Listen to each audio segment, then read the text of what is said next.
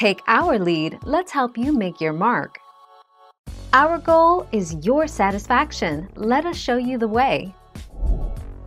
For most people, taking diclofenac is safe.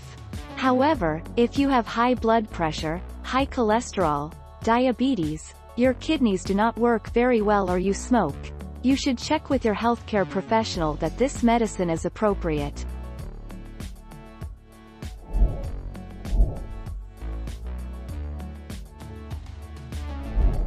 Let's help you make your mark.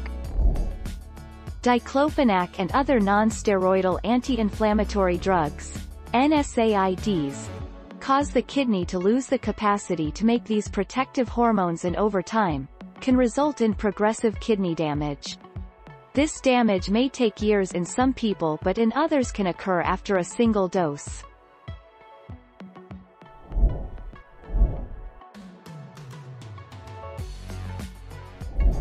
Make your mark, take our lead.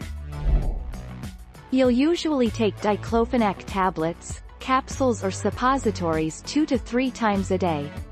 The usual dose is 75 mg to 150 mg a day, depending on what your doctor prescribes for you. Follow your doctor's advice on how many tablets to take, and how many times a day.